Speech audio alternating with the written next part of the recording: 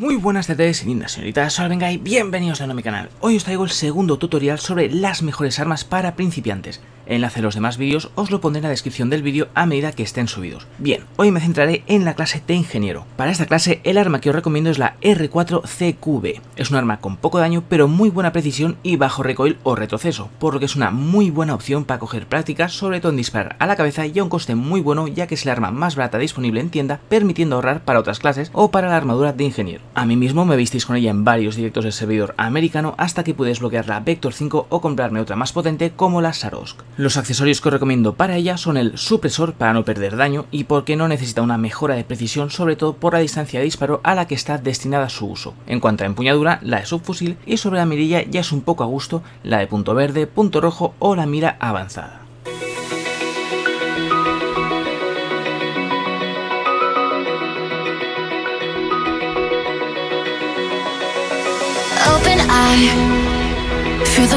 Waves cut through me Hypnotized By the sounds I'm breathing in. Hold tight, hold tight